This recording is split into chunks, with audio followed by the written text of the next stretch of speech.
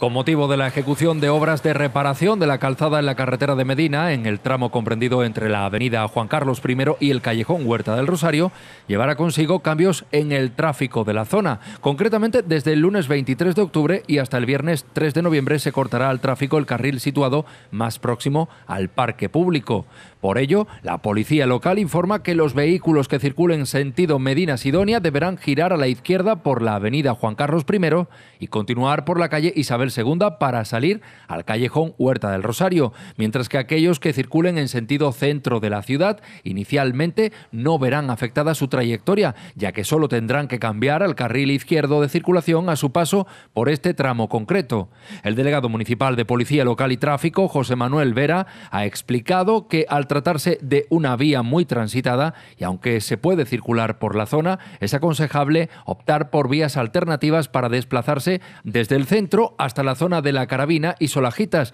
como por ejemplo el Puente de la Concordia o la Cañada de los Barrancos.